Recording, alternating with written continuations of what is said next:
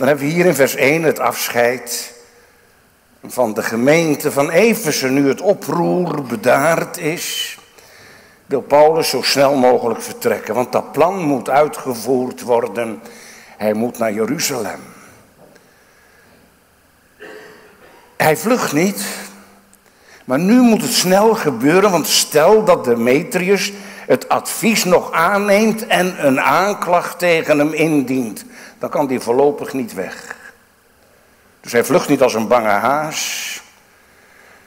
Maar roept ook de gemeente bij zich om afscheid te nemen in het eerste vers. En kostelijk, dan staat daar niet om afscheid te nemen van de gemeente, maar de discipelen. Paulus de discipelen tot zich geroepen en gegroet hebbende. En die uitdrukking discipelen komt van het werkwoord leren.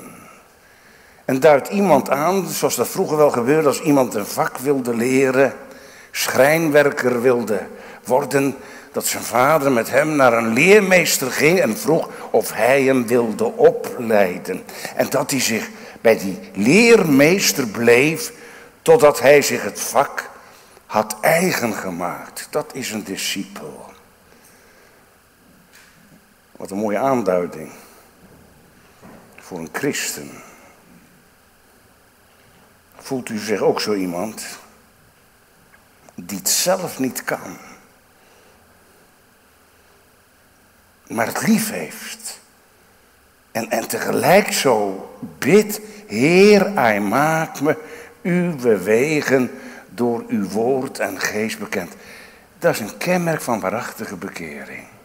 Dat je niet meer op je eigen inzicht vertrouwt. Ik vind dit en dat je logisch nadenkt dat. Maar het leeft uit dat gebed, Heer, hij maakt me. Wat zegt de Bijbel erover? En wat weet ik dan eigenlijk nog maar weinig?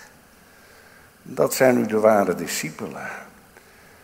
En als we dat niet kennen, want er zijn twee woorden voor bekering in het Grieks, in het Nieuwe Testament. Epistrefo, dat betekent dat je door de wind gaat, dat je terugkeert. En metanoia, opnieuw leren denken.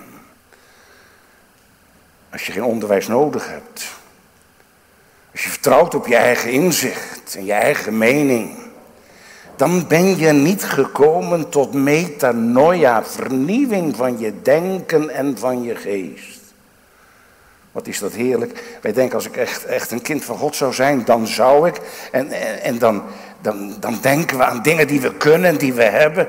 Nee, het is juist net als bij Johannes de Doper. Hij minder, hij meer. En als hij meer wordt, word ik minder steeds afhankelijker.